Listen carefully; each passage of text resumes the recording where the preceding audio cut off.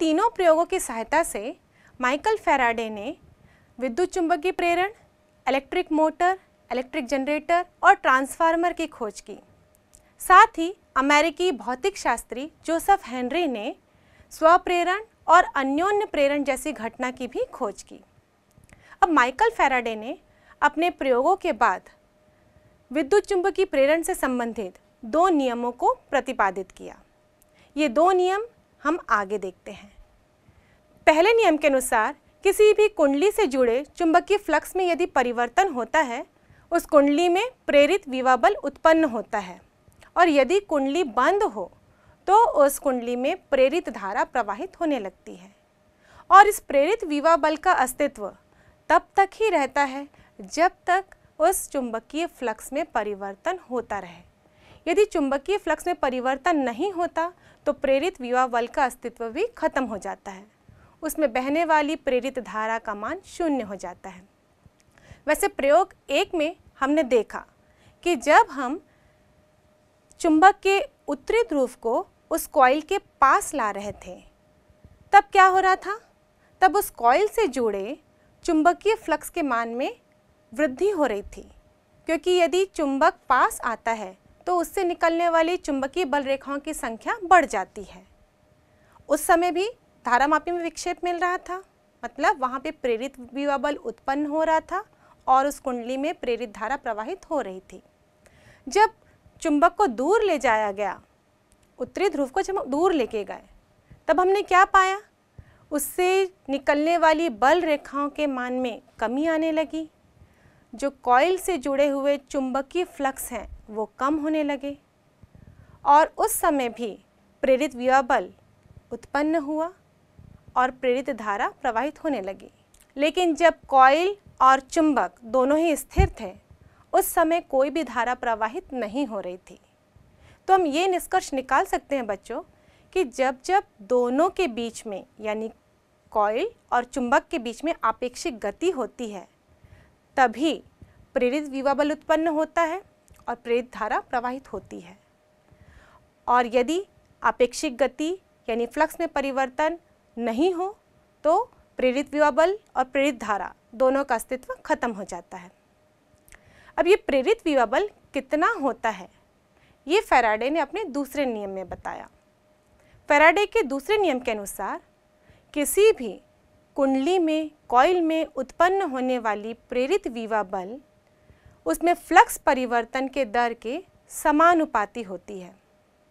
यदि मैं आरंभिक फ्लक्स यानी शुरुआत का फ्लक्स फाइवन लूँ और कुछ समय पश्चात फ्लक्स में जो परिवर्तन हो रहा है, उसके बाद फ्लक्स में फाइव टू लूँ।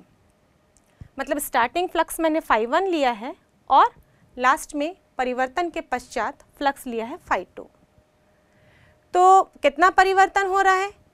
इस कॉइल से जुड़े फ्लक्स में परिवर्तन कितना होगा? हम लेंगे five two minus five one मतलब यहाँ पर जो परिवर्तन हो रहा है, वो दोनों के बीच का अंतर होगा। पहले कितना था और बाद में कितना हुआ? ये अंतर ही परिवर्तन दर्शाएगा। अब इसके दूसरे नियम के अनुसार, यदि प्रेरित विवा बल मैं ई से दर्शाती हूँ तो प्रेरित विवा बल का मान समानुपाती होता है five two minus five one upon T के। जब हम उसको टी से यानी कि समय से भाग देते हैं तो ये कहलाती है फ्लक्स परिवर्तन की दर। क्योंकि जब भी दर शब्द इस्तेमाल होता है बच्चों तो वो जुड़ा होता है समय के साथ। फ्लक्स में समय के साथ किस प्रकार परिवर्तन हो रहा है, उसे ही हम कहते हैं फ्लक्स परिवर्तन की दर। तो ई समानुपाती है five two minus five one upon T के। अगर हम समानुपाती का चिन्ह हटाते हैं, बराबर लिखते हैं और एक समानुपातिक नियतांक लगाते हैं। यहाँ पर हमने वही किया है। ई e बराबर माइनस के five two minus five one upon T अब के तो समानुपातिक नियतांक है, पर यहाँ माइनस चिन्ह भी लगा दिया गया है। ये माइनस चिन्ह किस बात को प्रतीत करता है? माइनस चिन्ह इस बात को दर्शाता है कि जो प्रेरित विवा बल उत्पन्न हो रहा है, वो फ्लक्स परिवर्तन का विरोध करेगा। वो नहीं चाहेगा कि फ्लक्स में परिवर्तन हो। उस कॉइल से, उस कुंडली से जुड़े फ्लक्स में परिवर्तन का विरोध करता है, इसलिए हम यहाँ पर माइनस चिन्ह लगाते हैं। अब आगे समीकरण हम लिख सकते हैं के बराबर minus five two minus five one upon T यहाँ के का मान हमने वन लिया है क्योंकि ऐसा ही मात्रक में के बराबर वन लिया जाता है। यदि मैं डेल्टा टी समय अंतराल लूँ मतलब छोटा सा समय अंतराल लिया है जिसको हम दर्शा रहे हैं डेल्टा टी से, और फ्लक्स परिवर्तन, इस अल्प समय में जो फ्लक्स में परिवर्तन हुआ है, उसे दर्शा रहे हैं हम डेल्टा फाइव बी से तो द्वितीय नियम से सूत्र अनुसार हमको प्राप्त होगा ई e बराबर minus del five B upon del T delta T समय अंतराल बहुत ही कम हो। लगभग शून्य को टच करता हो। मतलब बहुत ही कम क्षणिक समय अंतराल हम लेते हैं। तो हम लिखते हैं delta T tends to zero मतलब ये लगभग ज़ीरो के बराबर है। उस कंडीशन में फॉर्मूला बन जाता है ई e बराबर limit delta T tends to zero delta five B upon delta T और जब समय अंतराल बहुत कम रहता है तो हम डेल्टा के स्थान पर डी का इस्तेमाल करते हैं। मतलब हम लोग अवकलन की तरह इसका सूत्र लिखेंगे और यहाँ हो जाएगा E बराबर minus D five B upon D T तो द्वितीय नियम का सूत्र इस प्रकार से भी लिखा जाता है, जहाँ पर डेल्टा टी एक अल्प समय अंतराल है और चुंबकीय फ्लक्स में परिवर्तन को डी फाइव बी से दर्शाया गया है। बच्चों सूत्र में हम देखें तो यदि डी टी या डेल्टा टी का मान कम होगा तो ई का मान, यानी प्रेरित विवाबल का मान अधिक होगा, क्योंकि ये सूत्र में दोनों एक दूसरे के व्युत क्रमानुपाती दिख रहे हैं। यही कारण है, जब कुंडली को और चुंबक को बड़ी तेज़ी से चलाया जाता है तो विक्षेप अधिक प्राप्त होता है धारा मापी में, क्योंकि डेल्टा टी का मान कम है मतलब उनकी गति बहुत तेज़ है। तो चाहे हम पास चलाएँ या दूर चलाएँ, लेकिन जब हम तेज़ी से चलाते हैं कुंडली और चुंबक के बीच में आपेक्षिक गति यदि तेज़ी से होती है तो प्रेरित विवा बल का मान अधिक होता है, यानी प्रेरित धारा का मान अधिक होगा, और इसीलिए धारा मापी में विक्षेप अधिक प्राप्त होता है। और यदि हम उसको धीरे से चलाएँ मतलब डेल्टा टी या डी टी का मान अधिक लें, समय अंतराल अधिक लें तो उस समय में विवा बल, प्रेरित विवा बल का मान कम होगा और प्रेरित धारा का मान भी कम होगा। और यही कारण है कि धारा मापी में विक्षेप भी हमको कम प्राप्त होता है। तो चलो बच्चों, हम विद्युत चुंबकीय प्रेरण के नियमों को समझने के लिए एक छोटा सा प्रयोग करते हैं, जिसमें हमने एक चुंबक लिया है और एक कुंडली है जिसके साथ बल्ब और ये उपकरण जुड़ा है जो प्रेरित विवा बल के मान को दर्शाएगा। हम देख सकते हैं बच्चों, इस चुंबक में दो ध्रुव है एन और एस और इसके चारों तरफ़ चुंबकीय क्षेत्र भी होगा। यानी कि उसमें से बल रेखाएँ उत्तर से दक्षिण की ओर निकलती हुई नज़र आएँगी, जैसे कि आप देख सकते हैं। अब इस चुंबक को जब हम कुंडली के पास लाते हैं तो कुछ बल रेखाएँ इस कुंडली से भी गुजर रही हैं, और कुंडली के फेरों से लंबवत गुजरने वाली रेखा को हम चुंबकीय फ्लक्स कहते हैं। तो ये हम देख सकते हैं बच्चों कि कुछ बल रेखाएँ इस कुंडली से गुजर रही हैं लंबवत। अब इस चुंबक को हम इस कुंडली के पास और दूर चला कर देखते हैं। पहले हम इसको धीरे से चलाएँगे। जैसे कि अभी देख रहे हैं, जब इसको हम धीरे से चला रहे हैं तो बल्ब धीमे से जल रहा है। बल्ब की तीव्रता धीमी है और इसमें डिफ्लेक्शन भी कम दिखाई दे रहा है। अब इसको हम तेज़ी से चला के देखते हैं।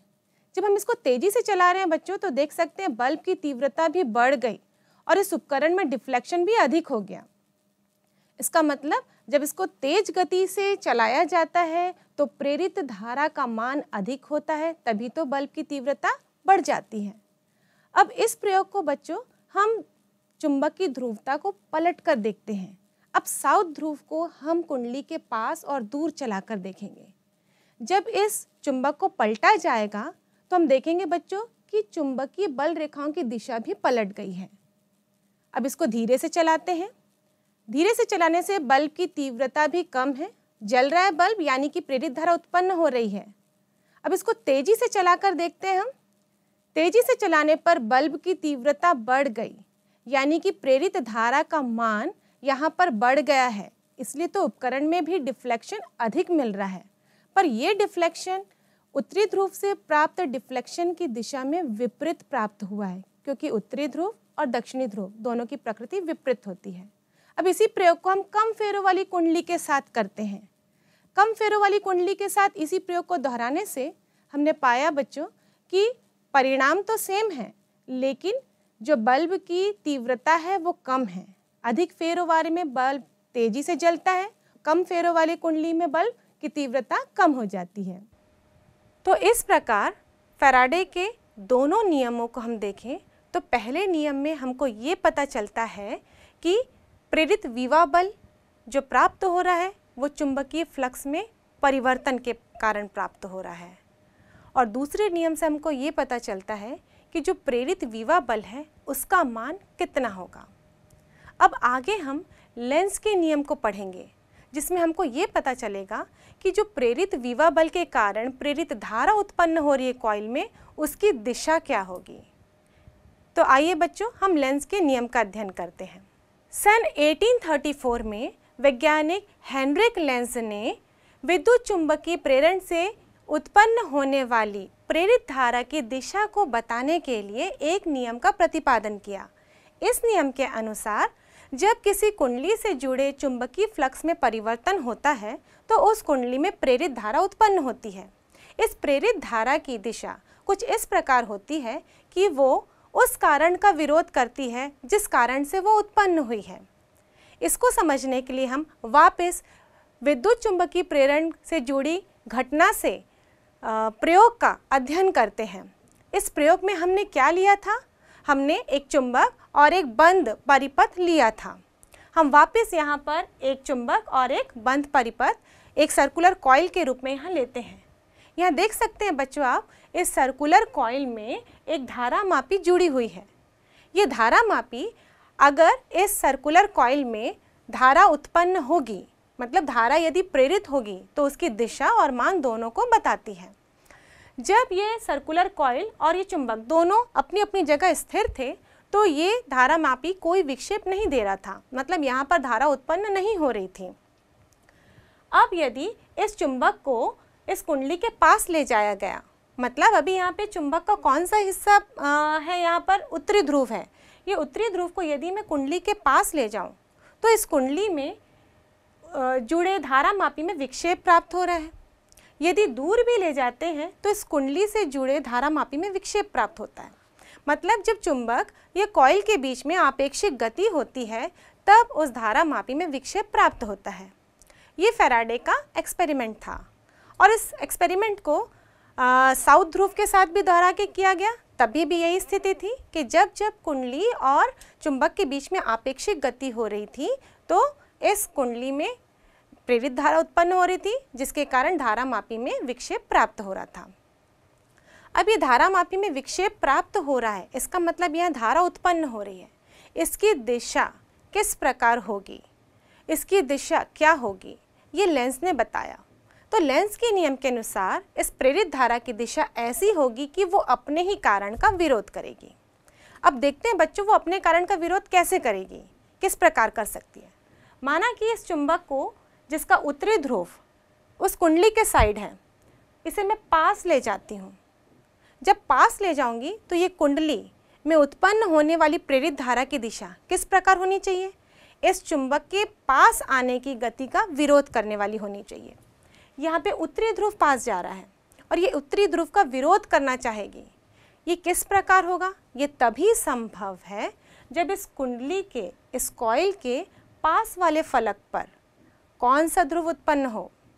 इस कुंडली के पास वाले फलक पर उत्तरी ध्रुव उत्पन्न हो। तभी ये संभव है, क्योंकि हम जानते हैं कि समान ध्रुव एक दूसरे को प्रतिकर्षित करते हैं और विपरीत ध्रुव एक दूसरे को आकर्षित करते हैं। इसका मतलब जो कॉयल है, इसका जो पास वाला हिस्सा है, वहाँ पे कौन सा ध्रुव उत्पन्न होगा? वहाँ पर उत्पन्न होगा उत्तरी ध्रुव। अब ये उत्तरी ध्रुव कॉइल के फलक के पास वाला और ये चुंबक का उत्तरी ध्रुव। दोनों के बीच में क्या होगा? प्रतिकर्षण। तभी तो हम कह सकते हैं कि ये प्रेरित धारा की दिशा कुछ इस प्रकार है कि वो इस चुंबक की गति का विरोध कर रही है। और जब इसके फलक पर उत्तरी ध्रुव, एन ध्रुव उत्पन्न होगा तो कुंडली में धारा की दिशा एंटी क्लॉकवाइज होगी। यहाँ पे जो प्रेरित धारा की दिशा, वो कैसी होगी बच्चों? एंटी क्लॉकवाइज यदि इसी एक्सपेरिमेंट में इस उत्तरी ध्रुव को मैं दूर ले जाती हूँ। इस कुंडली से दूर ले जा रही हूँ। तभी भी प्रेरित धारा उत्पन्न होगी तो कैसे उत्पन्न होगी? कि उस चुंबक की गति का विरोध करेगी। चुंबक की गति का विरोध करेगी मतलब उसको दूर जाने से रोकेगी। और ये कब संभव है? जब इस कुंडली के, इस कॉइल के पास वाले फलक पे कौन सा ध्रुव उत्पन्न हो? उत्पन्न होना चाहिए साउथ ध्रुव। क्योंकि नॉर्थ और साउथ एक दूसरे को आकर्षित करते हैं। तभी तो ये कुंडली को कुंडली से चुंबक को दूर जाने से रोकेगी। और जब इस कुंडली में पास वाले फलक पे साउथ ध्रुव उत्पन्न होगा, तब इस कुंडली में धारा की दिशा क्लॉकवाइज होगी। इसका मतलब दोनों ही स्थिति में हमने देखा कि समान या विपरीत ध्रुवों को उत्पन्न करके उसकी गति का विरोध किया जाता है। जब पास आते हैं तो समान ध्रुव उत्पन्न हो जाते हैं। जब दूर जाती है चुंबक और कुंडली एक दूसरे से तो विपरीत ध्रुव उत्पन्न होते हैं। ताकि पास आने पर प्रतिकर्षण बल हो और वो उसका विरोध करे और दूर जाने पर आकर्षण बल उत्पन्न हो, ताकि वो दूर जाने का विरोध करे, उसको पास खींच के रखने की प्रयास करे। अब बच्चों, मैंने बताया आपको कि अगर एन ध्रुव होता है उत्पन्न तो धारा की दिशा एंटी क्लॉकवाइज होती है। और अगर एस ध्रुव होता है तो धारा की दिशा क्लॉकवाइज होती है। इसको याद करने का फिर एक सरल तरीका हम देख लेते हैं। अगर एन ध्रुव उत्पन्न हो रहा है तो हम अंग्रेज़ी अल्फ़ाबेट का एन बनाएँगे। कुछ इस प्रकार। और इस एन के दोनों सिरों में हम तीर का निशान डाल देंगे, यहाँ ऊपर भी और यहाँ नीचे भी। इन दोनों सिरों को अब जोड़कर एक गोल बनाने का प्रयास करेंगे। अब देखो, ये गोल इस कुंडली के फेरे की तरह ही है, समझो? ये सर्कुलर कॉयल की तरह ही है। और इसमें धारा की दिशा कैसी हो रही है? एंटी क्लॉकवाइज तीर का निशान एंटी क्लॉकवाइज है मतलब धारा की दिशा भी कैसी होगी? एंटी क्लॉकवाइज मतलब यदि एन ध्रुव उत्पन्न हो रहा है पास वाले फलक पर तो उस कुंडली में धारा की दिशा कैसी होगी? एंटी क्लॉकवाइज यदि साउथ ध्रुव उत्पन्न होगा तो हम अंग्रेज़ी अल्फ़ाबेट का एस बनाते हैं। और एस के दोनों सिरों में हम फिर से तीर का निशान डाल देते हैं। हमने यहाँ भी डाल दिया और यहाँ भी तीर का निशान डाल दिया। अब इसको जोड़कर एक गोल बनाने का, एक सर्कल बनाने का प्रयास करते हैं। अब सर्कल में धारा की दिशा कैसी होगी? इस तीर की दिशा के अनुसार, यानी कि क्लॉकवाइज तो है ना याद करना आसान? अगर नॉर्थ ध्रुव हुआ तो एंटी क्लॉकवाइज धारा की दिशा होगी और अगर साउथ ध्रुव हुआ तो प्रेरित धारा की दिशा क्लॉकवाइज होगी। बच्चों, इस प्रकार हमने इस लेंस के नियम की व्याख्या कर दी। अब हम देखते हैं, ये जो लेंस का नियम है, वास्तव में ये ऊर्जा संरक्षण के नियम के अनुकूल है। अब ये ऊर्जा संरक्षण का नियम क्या है? हम जानते हैं बच्चों, इस ब्रह्मांड में जितनी ऊर्जा है, वो नियत है। कुल ऊर्जा नियत है। तो कोई ऊर्जा ना तो उत्पन्न होती है और ना नष्ट होती है। केवल ऊर्जा एक रूप से दूसरे रूप में स्थानांतरित होती है, रूपांतरित होती है। तो यहाँ पर भी विद्युत धारा प्रेरित हो रही है, या फिर हम बोल सकते हैं प्रेरित विद्युत धारा उत्पन्न हो रही है तो वहाँ उत्पन्न नहीं हो रही है, क्योंकि विद्युत धारा क्या है? हम पढ़े हैं बच्चों कि विद्युत धारा ऊर्जा का रूप है। तो यहाँ पर विद्युत ऊर्जा उत्पन्न नहीं होगी बल्कि ये विद्युत ऊर्जा किसी अन्य ऊर्जा का रूपांतरित रूप होगी। वहाँ पे कोई अन्य ऊर्जा होगी जो विद्युत ऊर्जा के रूप में कन्वर्ट हो रही होगी। अब हम इसको समझने के लिए वापस इस प्रयोग को देखते हैं। जब उत्तरी ध्रुव पास आ रहा है, इस चुंबक का उत्तरी ध्रुव इस बंद परिपथ, इस सर्कुलर कॉइल के पास आ रहा है। तब इस कॉइल के पास वाले हिस्से में कौन सा ध्रुव उत्पन्न हो रहा है? नॉर्थ ध्रुव। क्योंकि प्रेरित धारा की दिशा ऐसी होगी कि वो अपने कारण का विरोध करेगी। उसके उत्पन्न होने का कारण क्या है? इस चुंबक के पास आने की गति। तो इस चुंबक को पास आने से वो रोकेगी। जब चुंबक को पास आने से रोकेगी तो यहाँ पे उत्तरी ध्रुव उत्पन्न हुआ। ये उत्तरी ध्रुव, दोनों उत्तरी ध्रुवों के बीच में कौन सा बल उत्पन्न करेगा? प्रतिकर्षण बल। अब इस चुंबक को इस प्रतिकर्षण बल के विरुद्ध आगे की ओर गति कराया जा रहा है। मतलब जो यांत्रिक कार्य करना पड़ रहा है इस प्रतिकर्षण बल के विरुद्ध कार्य कराने में, यह कार्य ही किस रूप में उत्पन्न हो रहा है उस कॉइल में? विद्युत ऊर्जा के रूप में, और उस कॉइल में प्रेरित धारा प्रवाहित हो रही है। यदि हम उल्टा केस लें, विपरीत केस लें, जब हम इस चुंबक को दूर ले जा रहे हैं। मतलब इस चुंबक का उत्तरी ध्रुव उस बंद परिपथ, उस बंद कॉइल से दूर जा रहा हो। उस समय उस कॉइल के सामने वाले फलक पे, पास वाले फलक में कौन सा ध्रुव उत्पन्न हो रहा है? उस समय वहाँ पे साउथ ध्रुव उत्पन्न हो रहा है। अब इस साउथ ध्रुव के कारण साउथ ध्रुव क्यों उत्पन्न हो रहा है बच्चों? क्योंकि ये कॉइल उस चुंबक की गति का विरोध करेगी। और चुंबक की गति कैसी है? दूर जा रही है। तो प्रेरित धारा की दिशा लेंस के अनुसार कैसी होगी? उस दूर जाने वाली गति का विरोध करेगी। तो उस दूर जाने वाले चुंबक को बाँध के रखने के लिए इस कॉयल के पास वाले फलक पे, पास वाले फलक पे कौन सा ध्रुव उत्पन्न हुआ? साउथ ध्रुव उत्पन्न हुआ, ताकि आकर्षण महसूस कर सके और ये कॉयल से कुंडली दूर ना जा सके। अब इस चुंबक को हम दूर ले जा रहे हैं। तो आकर्षण बल के विरुद्ध कार्य करना पड़ेगा। या नॉर्थ और साउथ के बीच में आकर्षण जो बल कार्य कर रहा है, इसके विरुद्ध अब हम चुंबक को ले जा रहे हैं। इसके कारण यहाँ पर जो यांत्रिक कार्य किया जा रहा है मतलब चुंबक को चलाने की जो यांत्रिक ऊर्जा है, या फिर यहाँ यांत्रिक कार्य जो कर रहे हैं हम इस चुंबक को चलाने के लिए, वो इस बंद परिपथ में, इस सर्कुलर कॉइल में विद्युत ऊर्जा के रूप में उत्पन्न होगी। यानी कि उस कॉइल में प्रेरित विद्युत धारा उत्पन्न होगी। इस प्रकार हम कह सकते हैं कि जो यांत्रिक कार्य है, बल के विरुद्ध किया गया। कभी आकर्षण बल के विरुद्ध किया गया, कभी प्रतिकर्षण बल के विरुद्ध किया गया। यह कार्य ही चुंबक को चलाने में गतिज ऊर्जा के रूप में संरक्षित हो रहा है और यह गतिज ऊर्जा ही उस कॉइल में प्रेरित विद्युत ऊर्जा या प्रेरित धारा के रूप में कन्वर्ट हो रही है।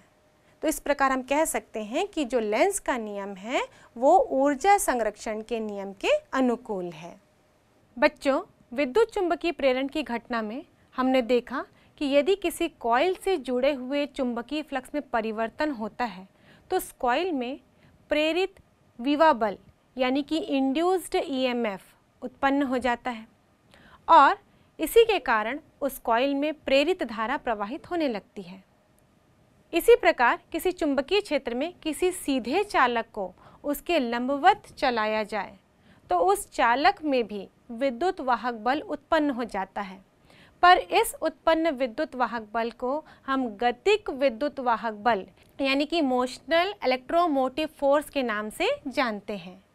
और यदि ये चालक बंद परिपथ बनाता हो तो इस चालक में प्रेरित धारा भी प्रवाहित होने लगती है। इस प्रेरित धारा की दिशा फ्लेमिंग के राइट हैंड के नियम से दी जाती है।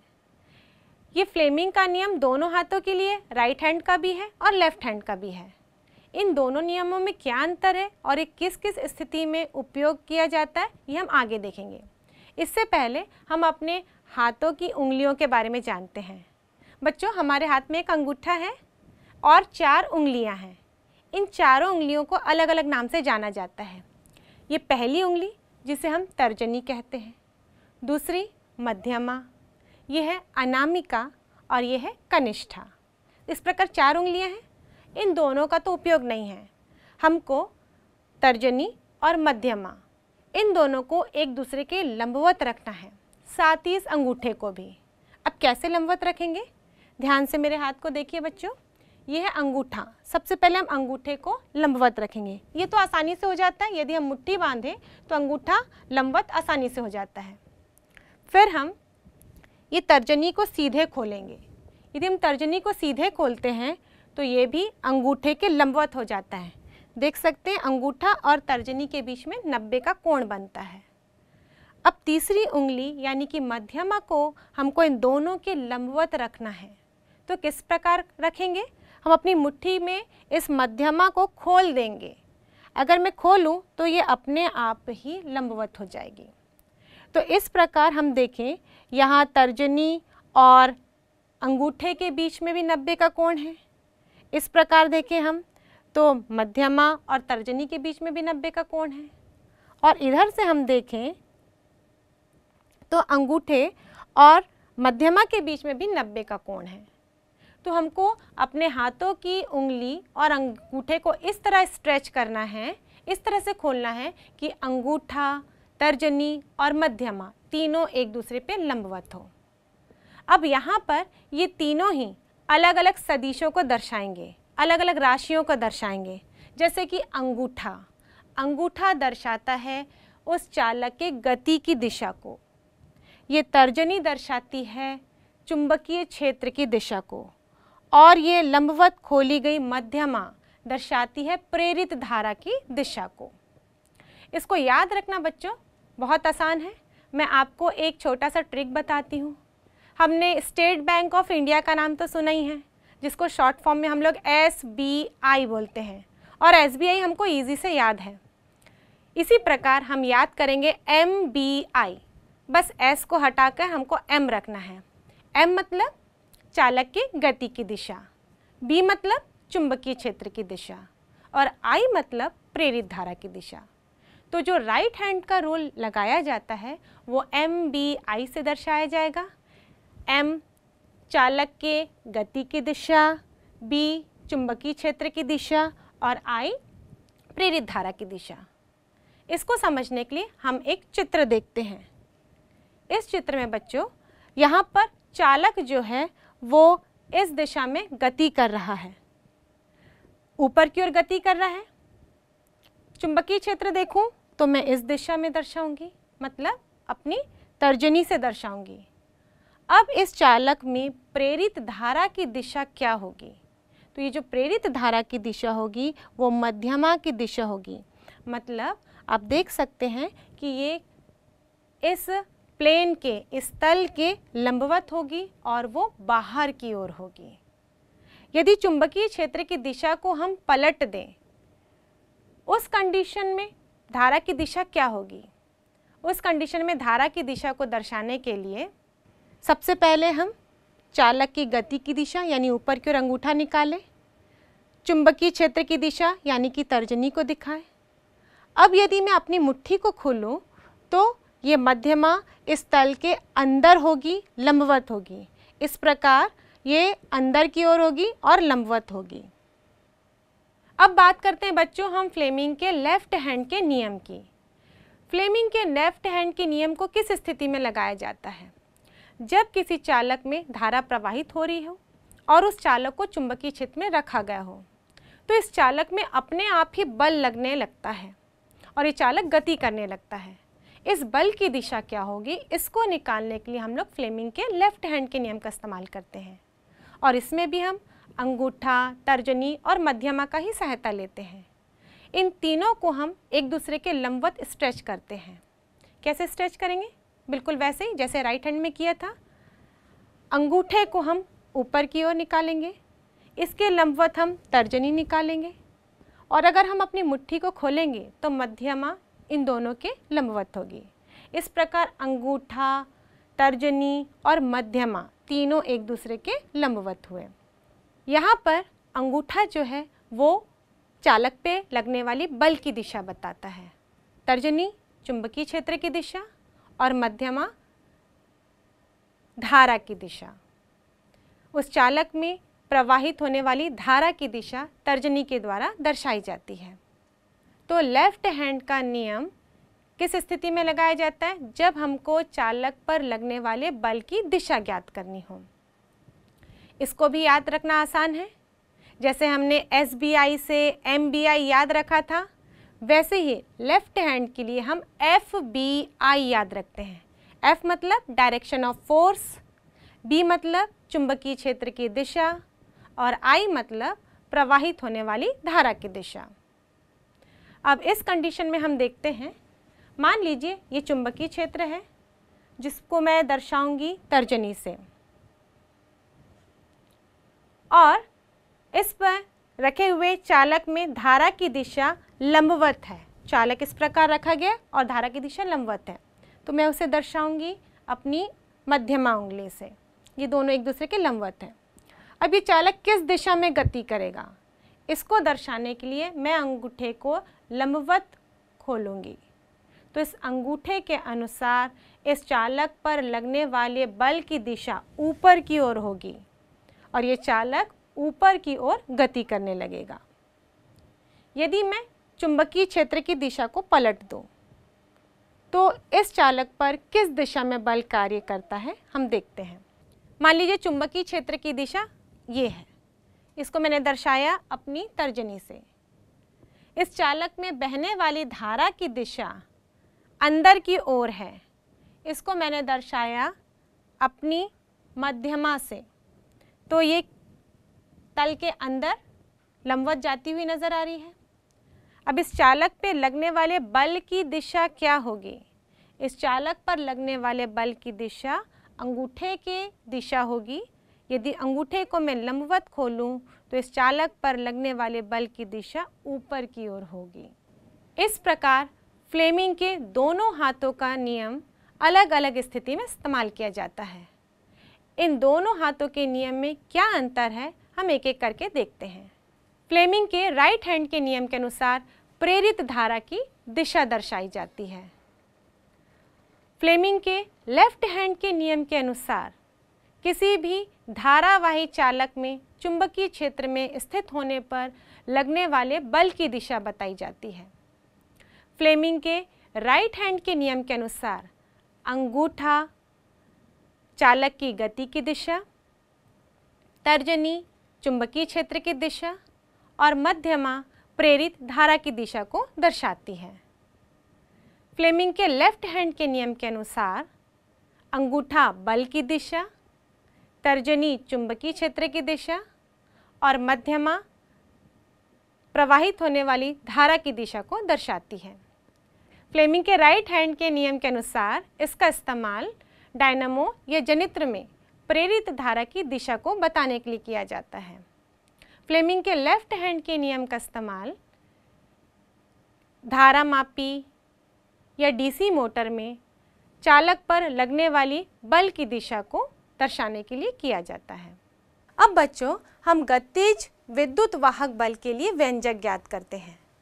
गतिज विद्युत वाहक बल के लिए व्यंजक ज्ञात करना हो तो हम एक चालक लेंगे जिसको हम चुंबकीय क्षेत्र के लंबवत गति कराएँगे और देखेंगे कि यहाँ पर प्रेरित विद्युत वाहक बल कितना उत्पन्न होगा।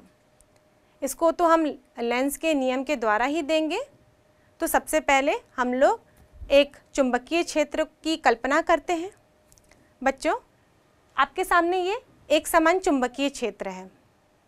आप सोच रहे होंगे कि अभी तक तो मैडम चुंबकीय क्षेत्र एक समान को समांतर रेखाओं से दर्शाया करती थी। अब ये चुंबकीय क्षेत्र क्रॉस क्रॉस ये एक्स की तरह किस प्रकार है? तो यदि किसी भी क्षेत्र को यदि हम क्रॉस के निशान से दर्शाते हैं, जैसे यहाँ पर है, ये क्रॉस आप देख रहे हैं बच्चों कि ये एक समान दूरी पर है, पर यहाँ कोई भी समांतर रेखाएँ नहीं दिख रही हैं। तो इसका मतलब क्या है? यदि हम किसी भी क्षेत्र को दर्शाते हैं तो सदिश के रूप में दर्शाते हैं, चाहे वो विद्युत क्षेत्र हो, चाहे चुंबकीय क्षेत्र हो। सदिश जब हम बनाते हैं तो वो तीर के निशान से इस प्रकार दर्शाया जाता है। तीर बनाते हैं हम बच्चों, तीर को आपने देखा है? तीर कैसा होता है? सामने पॉइंटेड रहता है ऐसा एरो और पीछे ऐसे क्रॉस रहता है। जो हम तीर इस्तेमाल करते हैं, तीर का मान, जो हमने लड़ाई में, युद्ध में देखा है, उसका सामने का हिस्सा कैसे होता है? वो पॉइंटेड रहता है, और पीछे का हिस्सा ऐसे क्रॉस रहता है। तो जब हम तीर को सामने से देखेंगे तो हमको कैसा नज़र आएगा? सिर्फ़ पॉइंट्स नज़र आएँगे, सिर्फ़ डॉट्स नज़र आएँगे। लेकिन जब तीर को हम पीछे से देखेंगे तो इस प्रकार क्रॉस नज़र आएगा। यानी क्रॉस नज़र आ रहा है मतलब हम लोग तीर को कहाँ से देख रहे हैं? हम उसको पीछे से देख रहे हैं। यहाँ पर भी क्रॉस नज़र आ रहा है। इसका मतलब जो चुंबकीय क्षेत्र की दिशा है, वो कैसी है? वो इस ऊर्ध्वाधर तल में अंदर की ओर है। अगर मान लीजिए जो चुंबकीय क्षेत्र की दिशा बाहर की ओर होती, इस ऊर्ध्वाधर तल में तो आपको क्या नज़र आता? तीर का सामने का हिस्सा मतलब सिर्फ़ पॉइंट्स या डॉट नज़र आते। उस कंडीशन में हम ऊर्ध्वाधर तल में केवल डॉट्स दिखाते हैं, इस प्रकार। लेकिन, अभी वर्तमान स्थिति में हमको क्या दिख रहे हैं? क्रॉस दिख रहे हैं। तो इसका मतलब ये जो तीर के निशान हैं, वो ये बता रहे हैं कि चुंबकीय क्षेत्र ऊर्ध्वाधर तल में किस प्रकार है? अंदर की ओर। आप लोग बच्चों, क्रॉस का निशान यदि अपनी कॉपी में बनाते हैं तो फिर चुंबकीय क्षेत्र की दिशा कैसी होगी? वो आपके कॉपी के तल मतलब कागज़ तल के लंबवत होगी और अंदर की ओर होगी। और यदि डॉट्स बनाते हैं तो वो आपकी कॉपी यानी कागज़ तल के लंबवत होगी और ऊपर की ओर होगी। यहाँ पर ऊर्ध्वाधर तल लिए हैं मैंने इसलिए हम ऊर्ध्वाधर तल के लंबवत बाहर की ओर और, अंदर की ओर लेंगे। तो ये क्लियर हो गया? ये क्रॉस का निशान क्या बता रहा है? ये एक समान चुंबकीय क्षेत्र है जिसकी दिशा इस ऊर्ध्वाधर तल में अंदर की ओर है। अब इस तल में मैंने एक लूप लिया है इस यू प्रकार का। ठीक है? ये यू प्रकार का एक लूप लिया है जो कि चालक का बना हुआ है। इस चालक लूप में मैंने एक स्ट्रेट चालक भी लिया है। स्ट्रेट चालक को किससे दर्शाया जा रहा है? पी क्यू से दर्शाया जा रहा है। अब स्ट्रेट चालक पी क्यू की लंबाई मैंने ली है एल मतलब ये आर एस की लंबाई भी कितनी हो जाएगी? एल हो जाएगी। क्योंकि ये रेक्टेंगल बना रहा है तो इसके अपोजिट साइड्स समान होंगे। अब ये जो चालक है पी क्यू ये इस यू शेप के चालक में गति करने में सक्षम है। मतलब इसको आगे पीछे ले जाया जा सकता है। अभी इस कंडीशन में हम इस पी क्यू चालक को आगे की ओर ला रहे हैं। यहाँ पर हम देखें आर क्यू की लंबाई एक्स है। यदि मैं इस चालक पी क्यू को आगे की ओर गति कराती हूँ तो ये एक्स की लंबाई घटेगी। मतलब एक्स के मान में परिवर्तन होगा और एक्स किस क्रम में होगा? घटते क्रम में। क्योंकि पी क्यू पास आ रहा है तो एक्स का जो डिस्टेंस है वो धीरे धीरे कम होते जाएगा। और जब एक्स का डिस्टेंस कम होते जाएगा तो ये जो क्षेत्रफल है पी क्यू आर एस ये भी धीरे धीरे घटेगा। और इसका क्षेत्रफल में जब परिवर्तन होगा तो इससे जुड़े चुंबकीय फ्लक्स में भी परिवर्तन होगा। क्योंकि आप देख सकते हैं बच्चों, इसमें जो क्रॉस के निशान दिख रहे हैं, अगर ये दूर रहेगा तो ज़्यादा होंगे मतलब बल रेखाएँ अधिक होंगी, फ्लक्स अधिक होगा।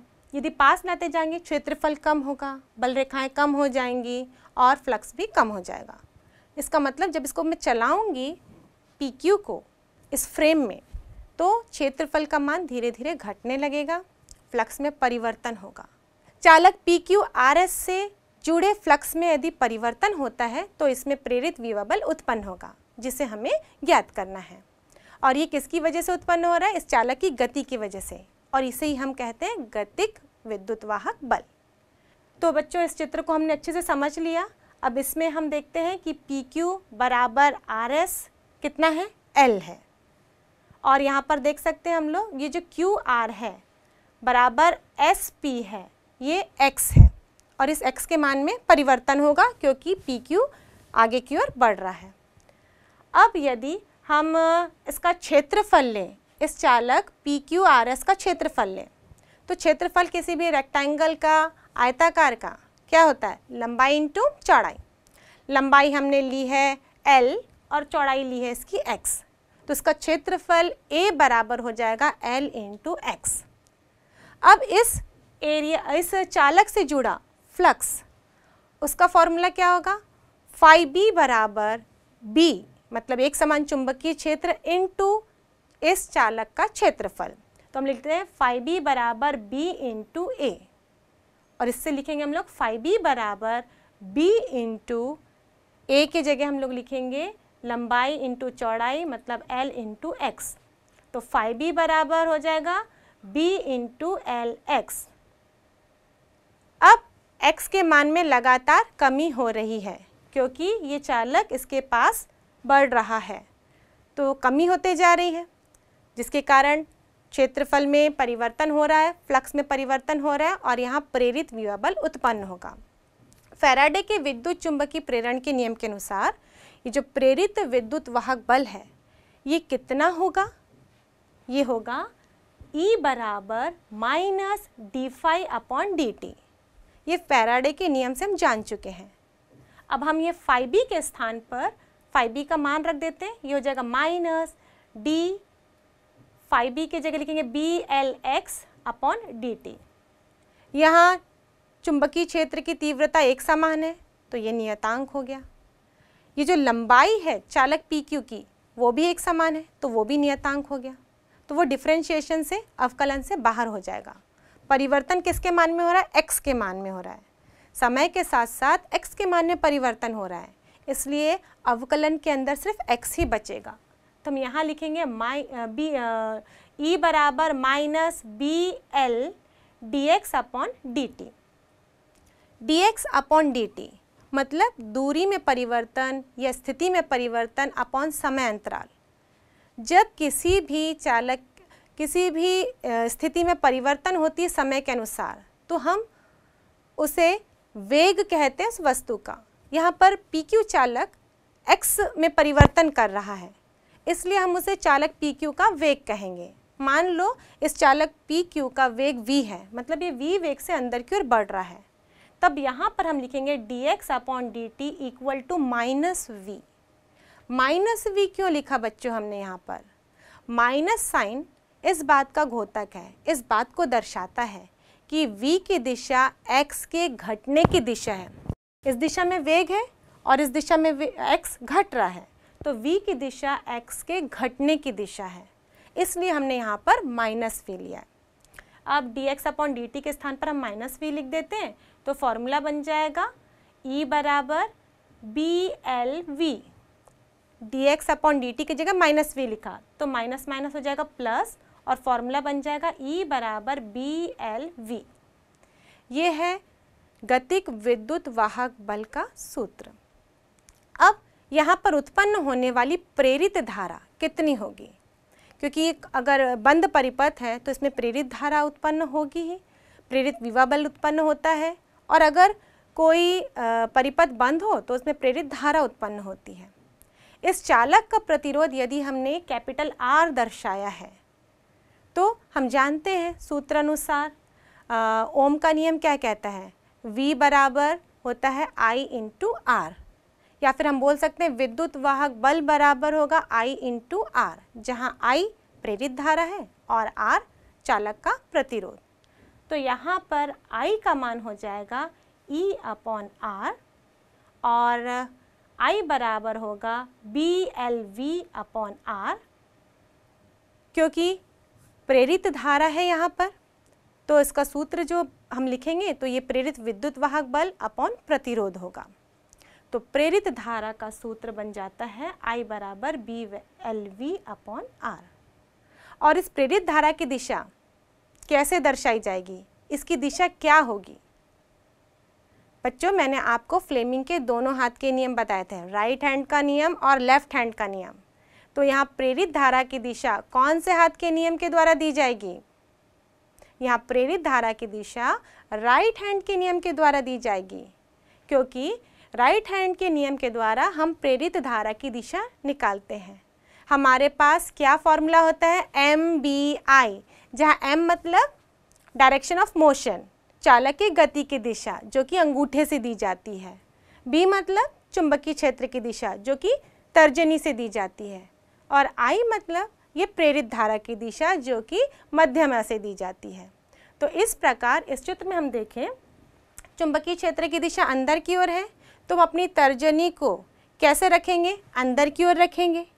चालक किस दिशा में गति कर रहा है? चालक वापस हमारी ओर आ रहा है तो हम अंगूठे को ऐसा रखेंगे। और धारा की दिशा के लिए हम अपनी मध्यमा को खोलेंगे तो ये नीचे की ओर होगी। तो यहाँ पर प्रेरित धारा की दिशा किस प्रकार होगी? P से लेकर Q की ओर होगी। यानी कि इस परिपथ में, बंद परिपथ पी क्यू आर एस में इसकी दिशा पी क्यू आर एस की ओर होगी। यानी कि ये होगी क्लॉकवाइज डायरेक्शन में। इस प्रकार हम गतिक विद्युत वाहक बल का समीकरण, प्रेरित विद्युत धारा का समीकरण और उसकी दिशा भी ज्ञात कर सकते हैं।